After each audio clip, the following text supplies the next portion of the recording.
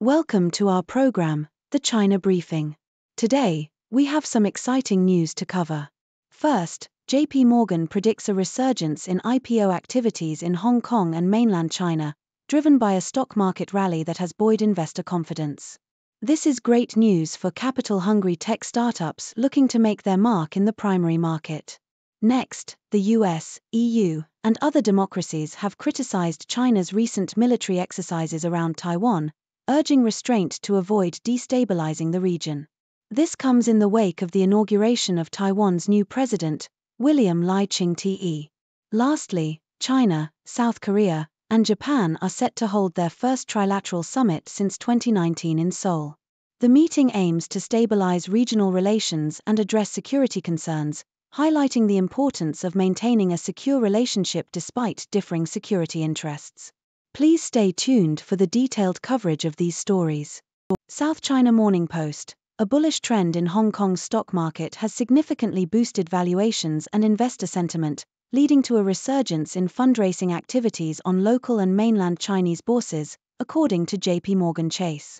Stuart Leenart, JP Morgan's head for the Asia Pacific region, noted that new IPO candidates have become more pragmatic about their pricing expectations technology startups are anticipated to be a major growth driver in the primary market. The recent rally in the Hang Seng Index and the Shanghai Composite Index has added over 1 trillion US dollars in capitalization, encouraging investors who have been buoyed by supportive policies from Beijing and portfolio rebalancing. This optimistic outlook was echoed by Kam Shing Kwang, JP Morgan's chairwoman for North Asia, who highlighted the improved market sentiment and eagerness of companies to raise funds. The positive trend is expected to continue with strong earnings from major firms like Tencent Holdings and Baidu, and increased support from Beijing to counteract a prolonged slump in the housing market. South China Morning Post The European Union, along with lawmakers from the US, Britain, and other democracies, condemned China's extensive military exercises around Taiwan, warning that such actions could destabilize the region and heighten cross strait tensions. The EU emphasized its interest in preserving the status quo in the Taiwan Strait and opposed any unilateral forceful changes. Beijing's military drills, involving numerous aircraft and naval vessels, were described as punitive measures against Taiwanese separatist forces and a warning to external forces. The Interparliamentary Alliance on China, representing lawmakers from 35 countries, criticized Beijing's actions as provocative and a threat to regional peace. In response, China's consulate in New York defended the drills, accusing Taiwan's President William Lai of inciting separatism. The US, while not recognizing Taiwan as an independent state, opposes any forceful attempts to take the island and supports its military defense capabilities. The PLA's exercises aimed to test joint combat readiness and capabilities, though they were shorter and less intense than previous drills. South China Morning Post leaders of China, Japan, and South Korea are set to meet in Seoul for a trilateral summit, their first since 2019, to stabilize relations amidst a volatile security environment.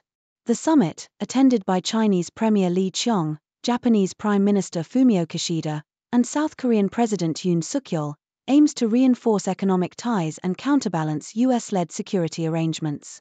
Despite closer alliances with the US, both Japan and South Korea continue to maintain significant trade relations with China.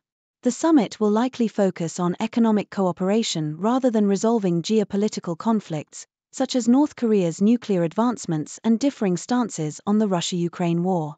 The meeting itself is significant, highlighting the interconnectedness of Northeast Asia and the desire for stable relations with China. US policymakers should note that even Washington's closest allies seek secure relations with China, driven partly by concerns over potential unpredictability in US foreign policy following the upcoming presidential election. South China Morning Post. New Frontier, chaired by Hong Kong's former Financial Secretary Anthony Leung, has acquired the Hong Kong Integrated Oncology Center, HKIOC, as part of its strategic expansion in the Greater Bay Area's healthcare sector.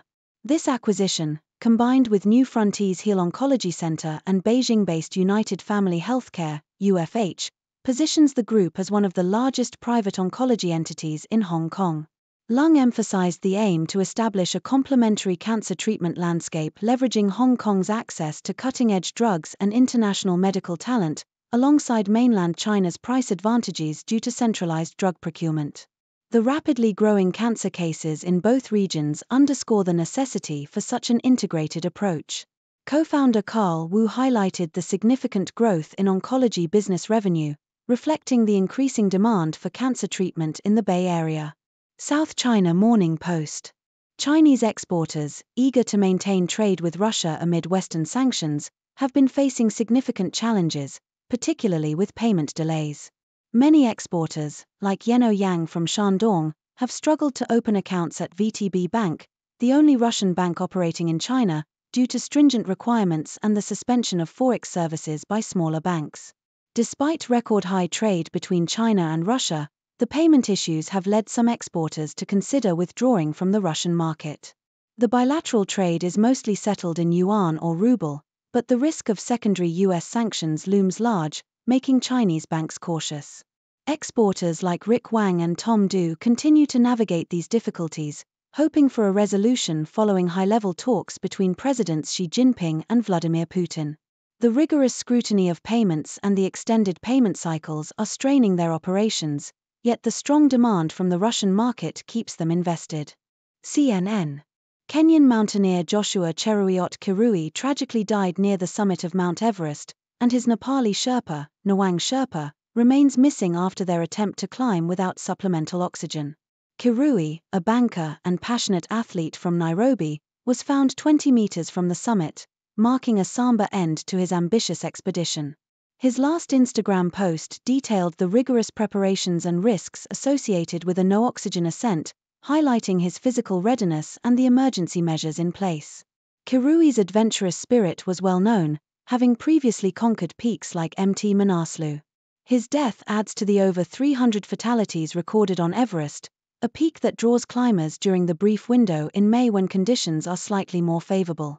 The search for Nawang Sherpa continues, as the mountaineering community mourns the loss of a determined and passionate climber.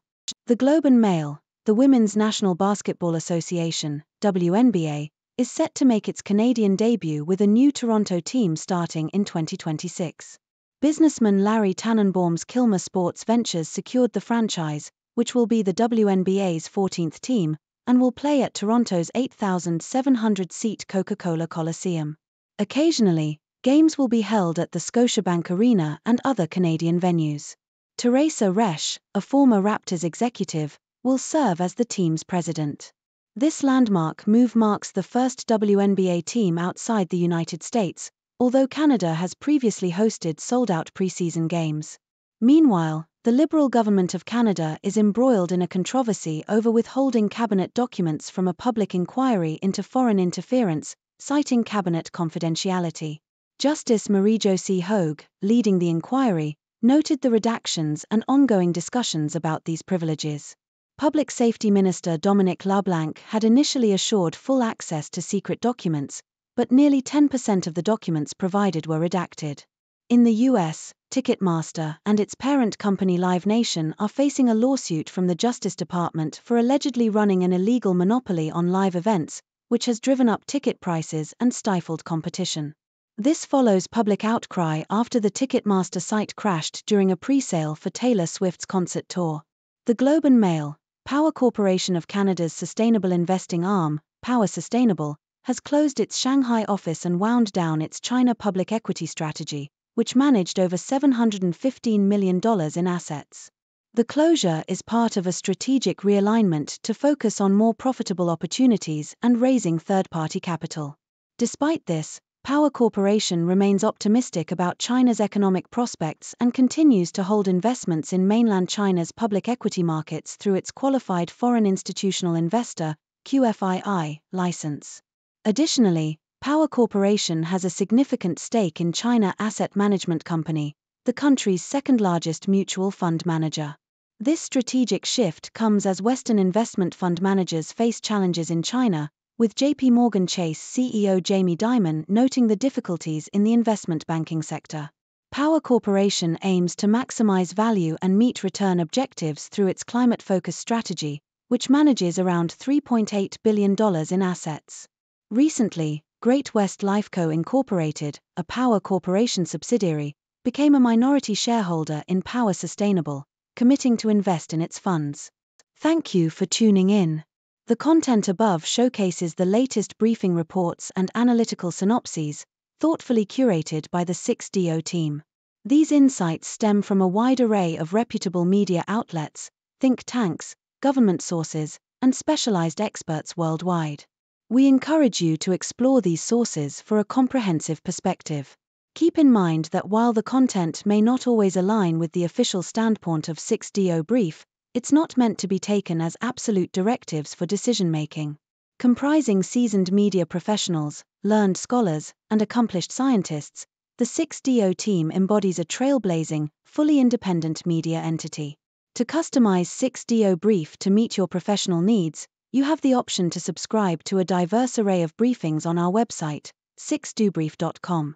Regardless of your location, you can conveniently receive 6DO Brief via email.